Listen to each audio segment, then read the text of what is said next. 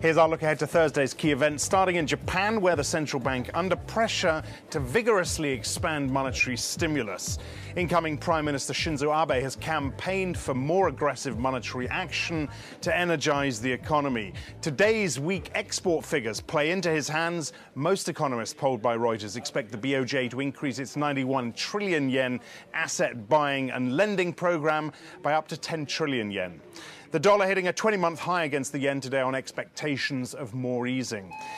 The European Central Bank's General and Governing Council is wrapping up a two day meeting tomorrow. No interest rate decision will be announced. ECB policymaker Jurgen Asmussen said today he wants the bank to stop buying sovereign bonds if its new purchasing program is activated, but the country concerned didn't stick to the conditions attached.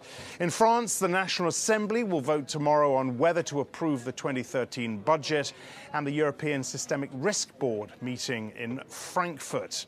On the data front, UK retail sales expected to rebound after October's shock drop.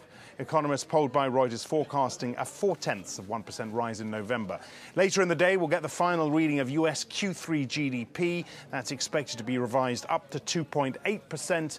Initial jobless claims in the US expected to edge up after last week's sharp fall, and Eurozone consumer confidence expected to remain weak as the debt crisis cuts into people's disposable incomes.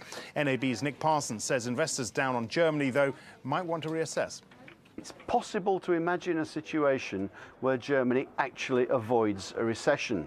Now, the avoidance of a recession would, I think, be give a significant boost to sentiment, especially in what is going to be an election year in Germany.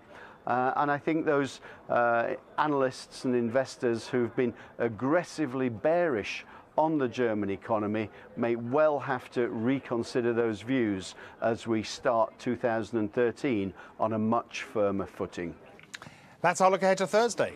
Don't miss uh, our interview with Irish Prime Minister Enda Kenny, plus the first part of Nomura political analyst Alastair Newton's guide to what's going to keep him awake at night in 2013.